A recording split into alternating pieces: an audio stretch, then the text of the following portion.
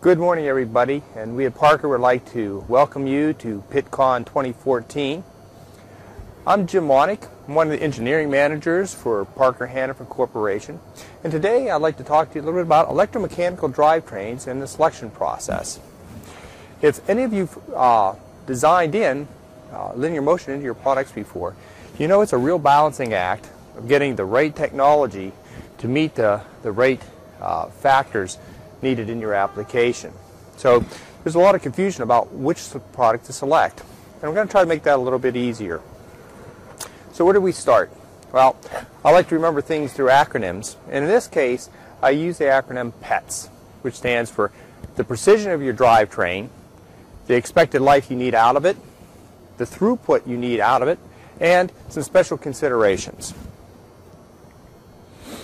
Now, from a precision standpoint, there are four factors that you have to uh, consider when selecting your drivetrain.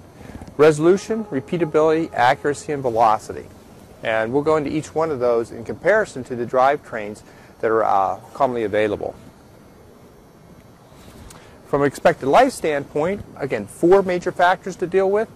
Mechanical efficiency, the wear resistance of the device, contamination resistance, and the maintenance of it. And from throughput standpoint, how fast you have to get your process done, you need to consider the speed capacity. How fast can your drivetrain actually produce motion? The maximum acceleration. The frequency response, which is somewhat confusing to most people because this has to do with the spring rate or stiffness of the drivetrain and how quickly it can respond to change requests. And the duty cycle. How long can this, uh, the drivetrain run without arrest? So from a special consideration standpoint, there are four factors to deal with. Force density, if you need to produce a, a, a lot of uh, force in a small contained area, there are different drivetrains you want to look at, uh, especially for the mechanical advantage.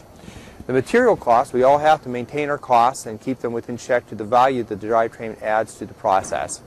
Implementation costs, which is sometimes forgotten about because in some cases the material cost is uh, overshadowed by actually implementing the technology.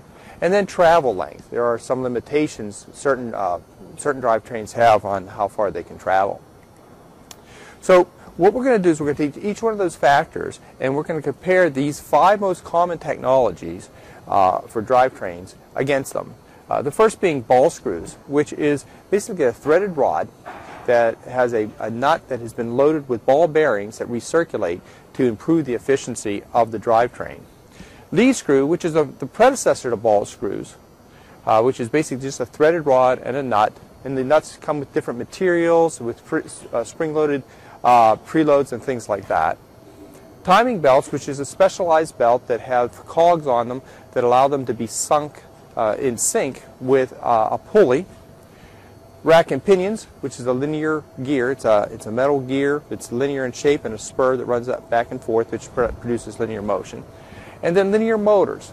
Now these first four, they're all rotational to linear conversion devices. So they take a rotary motor and they convert it to linear motion.